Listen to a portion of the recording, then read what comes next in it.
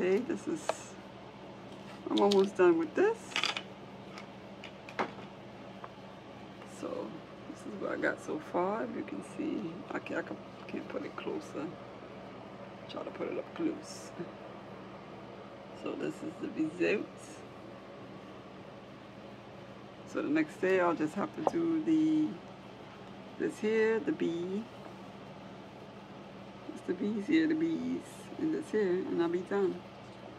So, oh, I gotta do this here.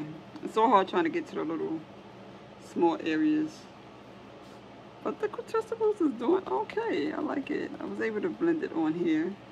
But I gotta do, um, I could put the light on the dark but not the dark on the light. Like here, I kind of messed up a little bit, but it's okay.